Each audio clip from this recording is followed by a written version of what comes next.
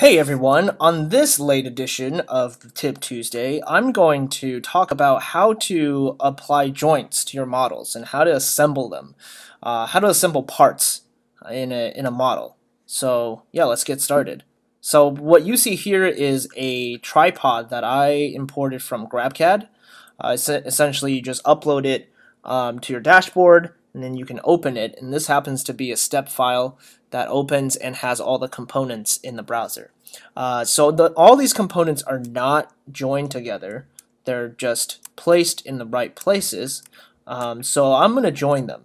And there's a really easy way to do that um, and it's with as-built joints. Right now you don't see it because you're in this direct modeling environment when you bring in a uh, third third party uh, model. So I'm going to go to the top node of my model, right click and say capture design history.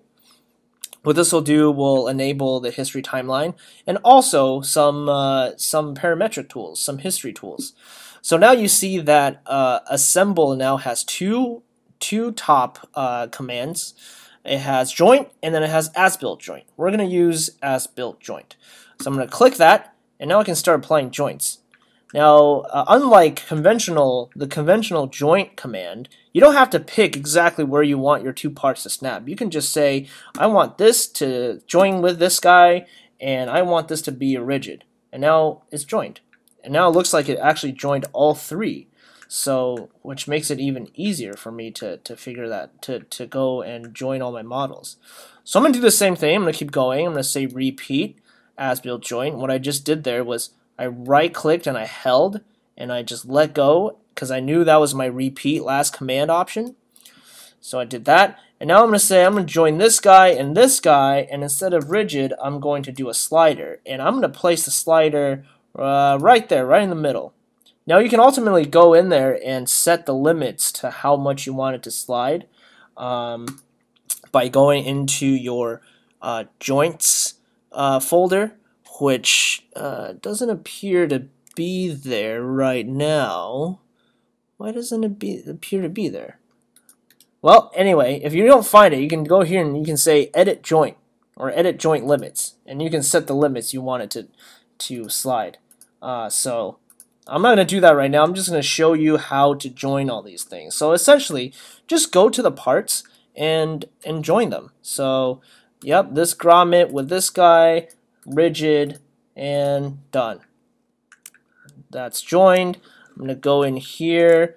I'm going to look at the connector, and this looks like to be a Revolute joint just based on how it's built. So repeat as built joint. Connect this guy and the base plate here. This is a Revolute, and uh, it's going to revolve around there. There you go. And done join that guy. So you can do that that Revolute joint for all three connectors, and then you know you can do the uh, as-built joint for the screw body and the base plate, and it's also a Revolute, and it's gonna revolve around there. So all right, that's that's joined. And just waking, working my way to the top here, repeat as built joint this um, okay so actually I'm gonna cancel out. I'm gonna join uh, this this head to the the ball the uh, tripod mount here. So repeat as built joint as built joint I'm gonna pick this guy first join that. Now instead of revolute it's gonna be a ball joint. I'm gonna select the ball and now this is now a ball joint. I'm gonna say okay. Now a couple more couple more joints, repeat joint, this guy, this guy, this is going to be rigid, say OK, repeat joint, this guy, and this guy, rigid, alright. Now we have one more joint left, which is this here, uh, repeat joint, this guy, this guy, and instead of a rigid, this is going to be a not revolute. Right about Oh, no, that's not the right, that's not the right one. Let's try that again. It's going to be this guy and this guy. And I'm going to zoom in a little closer. Revolute. Revolve around there. Yes. Perfect. And say yes. And in a matter of a couple minutes, I've got my whole tripod assembly pretty much joined, except for a couple of here, which are just duplicate of the one that I, I did earlier. And uh, yeah, there you go. That's that's really the, the, the, the power and the ease of as-built joints. So uh, check it out. Hopefully you can use it in some of your models. And uh, hopefully this was helpful. Again, if you have any questions, feel free to comment. And uh, yeah, we would love to uh, to help you out and see you guys next time.